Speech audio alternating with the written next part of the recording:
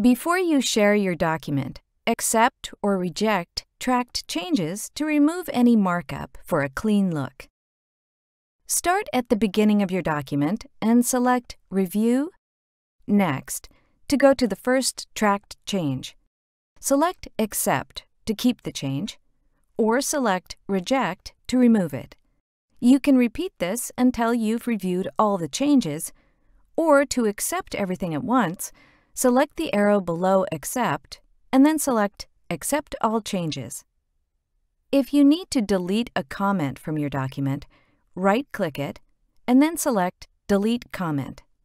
And to remove all comments, select the arrow below Delete and then select Delete All Comments in Document.